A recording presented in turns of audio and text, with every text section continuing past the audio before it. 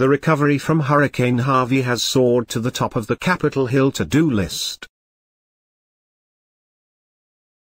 But as pressure starts to mount for lawmakers for an extraordinary relief package, local leaders in Texas and federal authorities in Washington are asking the same question, how much money will it cost? Texas Gov.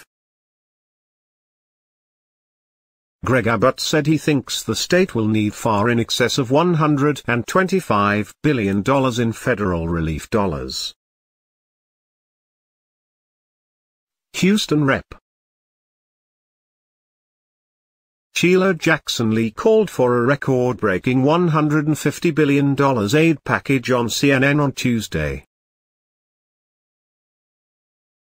President Donald Trump promised on Monday you're going to see very rapid action from Congress about approving recovery dollars.